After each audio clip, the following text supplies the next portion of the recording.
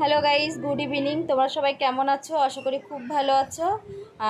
তোমাদের সঙ্গে চলে আসলাম আরও একটি ছোট্ট মেসেজ দেওয়ার জন্য। কারণ দুদিন আমি ভিডিও দিতে পারছিলাম না, একটু সমস্যা চলছিল।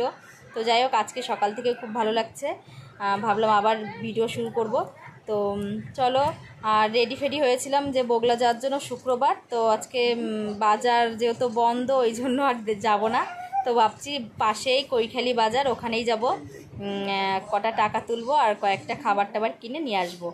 আর যাই হোক আমার ভিডিও তোমাদের সঙ্গে শেয়ার করছি না, দুদিন সবাই টেনশানে পড়ে গেছো। তো ভাবলাম আজকে থেকেই আবার ভিডিও শুরু করলাম। তো কি বলব? তো যাই হোক, কেউ টেনশন করো না, আবার নতুন নতুন ভিডিও তোমাদের সঙ্গে শেয়ার করব। আর সামনে একটা ইন্টারেস্টিং ব্লগ আসতে চলেছে, দেখো, আশা করি ভালো লাগবে। তো চলো, আজকের এই পর্যন্ত। পরে আবার নতুন ব্লগে তোমাদের দেখা হবে।